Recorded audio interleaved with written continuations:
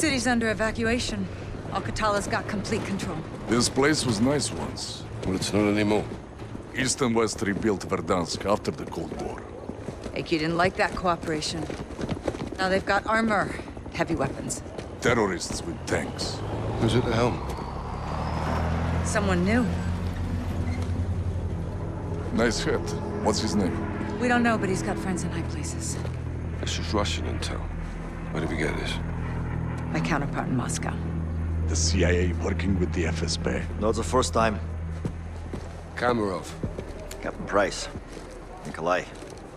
You've been a bad boy. From you, that's a compliment. Please. We're all friends here. I owed you. For Beirut. Sergeant Kamarov is gonna help conduct this operation.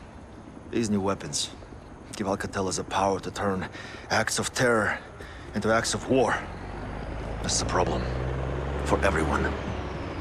We're launching a multilateral force to hunt AQ's new leader and contain this threat while we still can. Okay, we're in. Start up your teams. Let's operate.